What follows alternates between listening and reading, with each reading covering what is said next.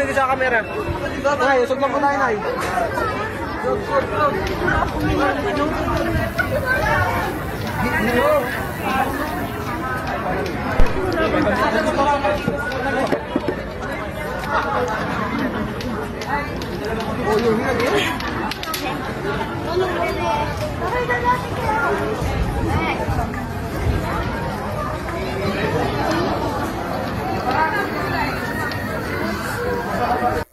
Welcome back mga kaaldab. Ito na naman po ang inyong lingkod, si Mr. Destiny. At siyempre, magbibigay na naman po tayo ng pinakamainit na mga kaganapan po ngayon sa social media mga kaaldab. Ito yung pinaka-latest na naman siyempre mga kaaldab. Ito yung part 2 na kung saan nga po nagte-taping ng main goals si Mengay sa Angono mga kaaldab.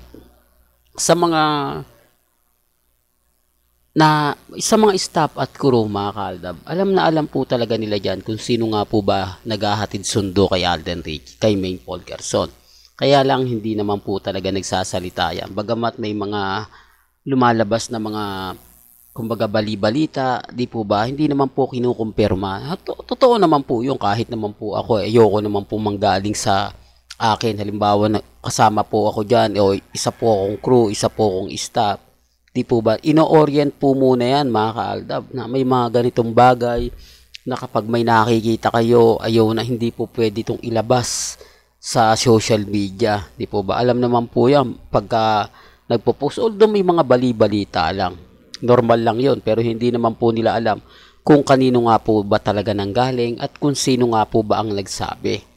Di po ba? Kaya nga po dun sa Bibo, mga kaaldab, sa Mega Mall, na, na kumbaga naispatan si Alden Richards. Normal na lang po yun eh sa Aldab Nation.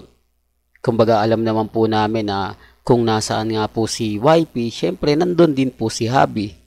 Pero hindi naman po nila kinukonsider na oo, totoo yan, etc. etc. Kasi wala naman po talaga magbibigay. Sa galing po ni Alden Richards magtago, sa galing po magmala ninja moves, malabo nyo talaga mahuhuli. Kasi Ilan taon na nga po ba sa showbiz si Alden? Ilang beses na nga po ba siyang nahuli? Mismong galing po sa bibig niya pero magaling siya eh. Kumbaga, mahuhuli mo ko pero hindi literal, di po ba? Magaling siyang kumambyo. Ang ibig kong sabihin, yung magaling siyang ayusin yung gusot na nagawa niya.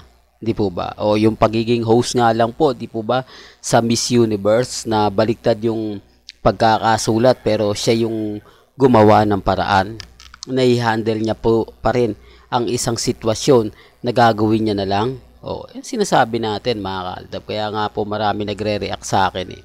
Marami nagko-komento na ganito ganyan, di po ba? Kaya chill lang tayo. Di po ba? Yun lang naman po yung importante. Yun lang naman po yung masasabi natin na maganda lalo na nga po sa channel natin. Ako bilang True Blooded Aldab Nation, sabi ko nga po sa inyo, maging kampante lang tayo, maging matatag. Yan lang naman po yung importante. Lalong-lalo na nga po pagdating sa social media. O ba kahit ano pong sabihin nila, kahit ano po yung gawin nila, normal lang po yan. Lalong-lalo na po ngayon, talagang maraming laging nakatutok, maraming nag-aabang, di po ba kung ano nga po ba mangyayari sa kumbaga kila Mengay at kay Alden dahil bumabaha nga po ng mga issue. Totoo naman po mga kaaldab katulad po ngayon. Tapos na yung taping o tapos na yung shooting nila Alden Richards at ni Julia Montes. Siyempre celebration yan. Di po ba? Kita nyo naman po sa video na pinakita ko po sa inyo. Na kumbaga sinasabi nga po ni Alden Richards na may part 2 pa raw mga kaaldab. Part 2 pa raw yung kumbaga uh, pelikula nila ni Julia Montes. Pero tignan na lang po natin. Sabi nga po kasi nila, marami nga po raw naka naka-schedule na movie ni Alden Richards. At kinumpirma naman po niya yan. Di po ba? Sabi ko nga po sa inyo, di po ba, may meron siyang Battle of the Judge na kung saan nga po reality TV show. Kaya nga po minadali, minadili, ano ba yan, na madali ang tapos ng shooting nila Julia Montes. Ito yung sinasabi ko na hindi po ako pinaniniwalaan. Totoo to mga kalda ba? Kasi nung sinabi kong maagang matatapos ang pelikula nila Alden Richards at ni Bea Alonso, marami nag-react, marami nagsabi, oh, yan ka na naman, bumanat ka na naman, fake news ka talaga, Mr. Destiny. Magsisimula pa lang yung pelikula eh. Kumbaga sa'yo, maaga mo nang tatapusin, halatang invento ka lang, halatang, kumbaga ganito ganyan. Hindi po mga kaaldab, sabi ko nga po sa inyo, updated po talaga tayo. May mga tao lang po na dinudurog tayo, sinasabihan tayong fake news para makuha lang po nila yung simpatya. Di po ba? Alam na alam po natin yan kasi matagal na po tayong nasa industriya nga po ng showbiz. Although hindi ko po ina-upload yung mga ibang artista dahil hindi ko naman po talaga sila kilala. Although sikat na sikat sila, ibig kong sabihin yung background po nila, kung saan po sila nagsimula, kung ano po yung pelikula na tumatak, di po ba? Hindi ko po yun alam. Pero pagdating po dyan sa mga bagay-bagay na ganito, alam na po natin kasi nagtrending po sa TikTok eh. Nagtrending sa Twitter, nagtrending sa Instagram, sa Facebook, pinag-usapan sa website o oh, di po ba? Kaya nga po kita nyo ako, simple lang tayo na bumabato ng mga update pero kita nyo naman po at ramdam naman po ninyo. Hindi po ba? Sinasabi ko lang po ito para lang po sa kalaman ng lahat para lang po sa mga taong dumadaan at bumibisita po sa channel natin na 101% updated po tayo lalo na nga po ngayon di po ba kaya ang inaabangan lang po natin saan nga po ba magmo-mall tour mga kaaldab sina Julia Montes at Alden Richards para nga po mag-promote syempre magkakaroon ng press con yan tapos babalik si Alden sa 8 Bulaga kasama si Julia Montes. Oops, issue na naman yan, Mr. Destiny. Si Julia Montes pupunta sa 8 Bulaga. Well, hindi po, eh, hindi po posible mangyari yan dahil ang baba po talaga ng ratings ngayon ng EB.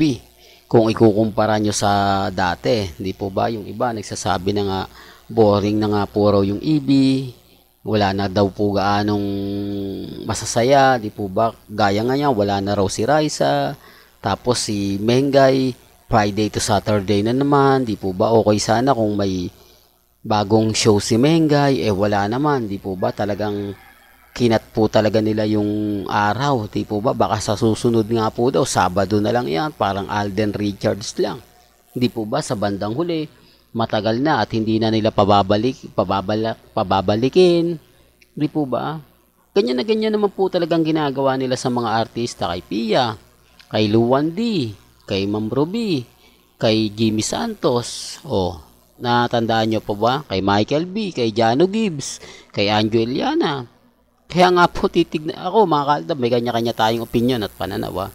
Well, hanggang dito na lang po ang ating latest updates. Kaya kung gusto nyo pa po ng pinaka-latest at sariwang update, abay lagi lang po kayong tututok sa channel ni Mr. Destiny para updated po kayo sa mga latest at sa mga bagong video po na ilalabas po natin maya maya lang. Hanggang sa muli, salamat po sa panonood at pakikinig.